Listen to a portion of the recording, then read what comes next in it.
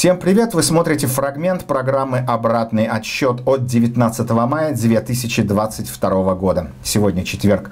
Полную версию этой программы, пожалуйста, смотрите на ресурсе Patreon. И большое спасибо всем, кто становится нашим патроном прямо сейчас. Сегодня 85-й день войны России против Украины. По данным Генштаба ВСУ, на утро сегодняшнего дня рашисты потеряли 28 500 солдат убитыми, 1254 танка, 3063 бронемашины, 203 самолета и 167 вертолетов. И как всегда в начале нашей программы я предлагаю вам посмотреть короткий видеосюжет, э, видеоотчет о, о происходящем на украинских фронтах за последние сутки. Сюжет, как всегда, даю без комментариев. Ребята вам за помощь. А це за Краматорськ.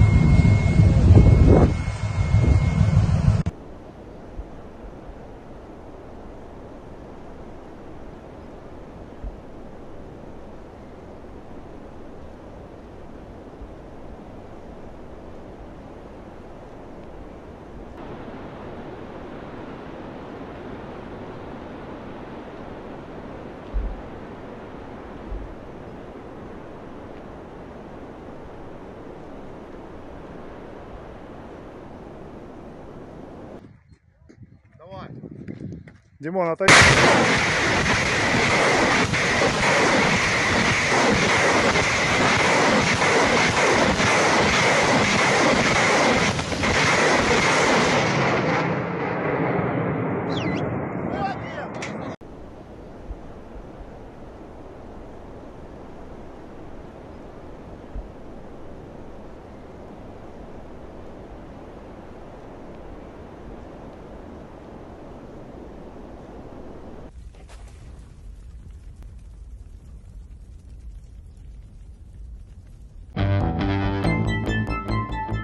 Британская разведка сообщает, что в последнее время в России был уволен целый ряд командиров, на которых была возложена вина за провалы на начальных этапах полномасштабного вторжения в Украину.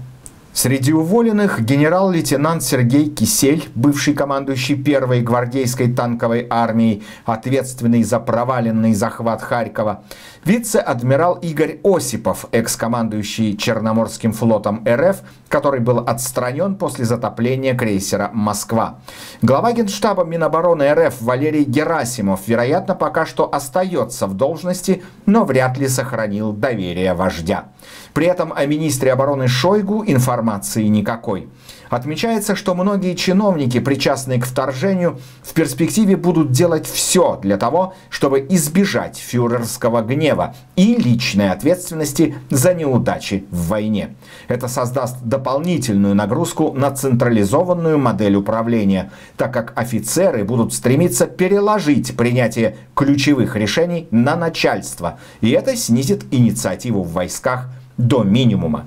Зато сам главнокомандующий, как утверждается, вовлечен в руководство боевыми действиями на уровне полковника или бригадного генерала, то есть увлеченно играет в солдатики, принимая решения и расчерчивая стрелки на карте боевых действий а в Госдуму вынесен проект закона, по которому Путин сможет создавать временные администрации за пределами России. К примеру, оккупировал областной центр, создал карманную администрацию, а та выдвинула инициативу о присоединении к России, после чего получила снисходительное согласие вождя. Быстро, удобно, практично.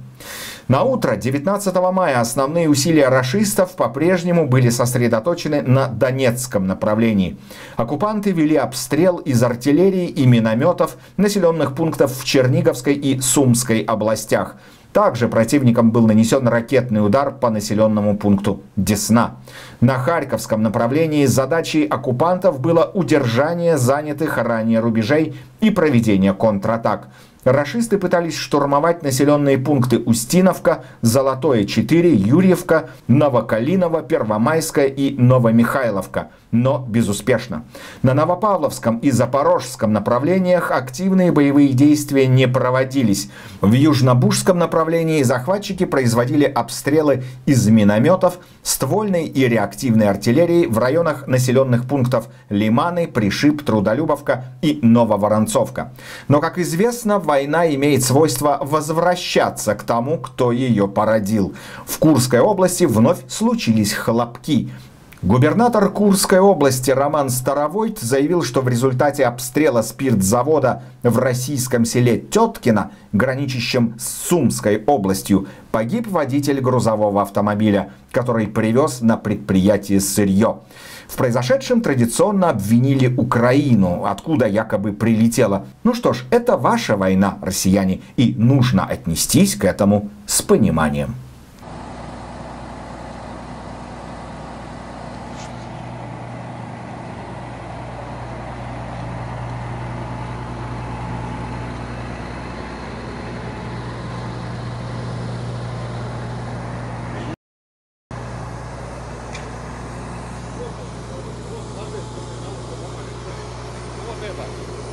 это, вот это. Вот. Вот у меня жопа сейчас горела, видишь? У меня трубки там погорели, я пойду в воздух, на он такой Видишь, да. А машины с этой откуда? Где вот?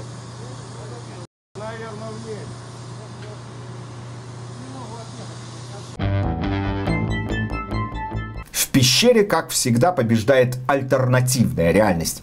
Помощник Путина Максим Орешкин считает, что главная причина глобального голода, который случится в этом году, необдуманное решение США и Евросоюза. А вот Россия приняла соответствующие меры еще в 2021 году. О том, что главной причиной мирового продовольственного кризиса является путинская война в Украине, в России говорить не принято. Здесь вообще все пучком. Правительство справляется, чиновники рапортуют, но в реальности вечно что-то идет не так. До 60% иностранного вина может пропасть с полок российских магазинов из-за санкций и проблем с логистикой. Но частично эти ниши заполнит вино производителей из России, сообщил руководитель проекта «Экспортный бренд российского вина» Павел Майоров. Путь назад в СССР подразумевает возвращение плодово-выгодной барматухи и прочих сердитых выключателей. Родное пойло вытесняет буржуйское. Но пока что с тотальным импортозамещением дела обстоят неважно. Спикер Софеда Валентина Матвиенко предлагает пересмотреть программу импортозамещения и форсировать ее выполнение. Цитата. «Существует специальная государственная программа импортозамещения. Я считаю, считаю, что сейчас она должна быть актуализирована и пересмотрена. Там предлагались слишком плавные темпы импортозамещения. Нам сейчас надо ускоряться, обратить внимание на чувствительные отрасли, понять, где у нас существует острая зависимость и как ее в кратчайшие сроки преодолеть, решительно заявила Матвиенко в интервью «Известиям». А сенатор Клишас и вовсе выдал гостайну, сообщив о том, что программа импортозамещения провалена полностью. Кроме бравурных отчетов отраслевых ведомств нет ничего, возмущен сенатор. Наши люди это видят и по товарам народного потребления, и во многих других сферах. И этот вопль является предвестником громких чиновничьих замещений с перемещением в тесные камеры СИЗО. Но беда не приходит одна, она вваливается санкционными толпами. Западные провайдеры отключили Банк России от всей статистической и аналитической информации. Центробанку стали недоступны массивы данных от Международного валютного фонда, Национального института статистики Италии и Организации экономического сотрудничества и развития. Придется, наверное, импортозамещать и эти данные своими, созданными на коленке многострадальной Сахибзадовны. А тут еще и польский нефтегазовый концерн обратился с исками к «Газпрому» и «Газпром Экспорту» с требованиями выплатить проценты за переплату по поставкам за несколько лет по полтора миллиарда долларов с каждой компании. А Минфин США так и вовсе намерен со следующей недели запретить американским держателям российских гособлигаций получать по ним выплаты. То есть 25 мая закончится льготный период, в течение которого такие выплаты допускались и который не будет продлен. И теперь РФ грозит дефолт по государственному внешнему долгу. Но и это еще не все.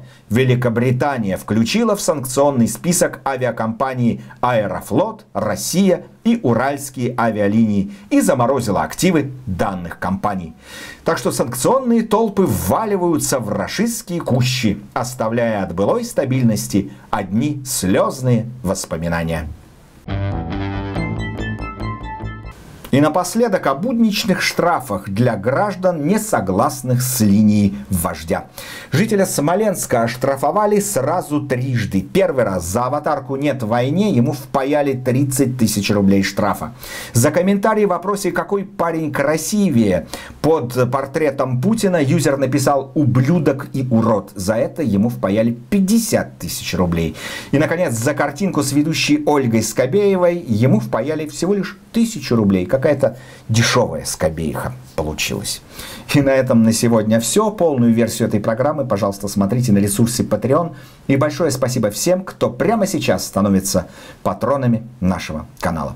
Всех обнял. Увидимся завтра в пятничном прямом эфире. Слава Украине!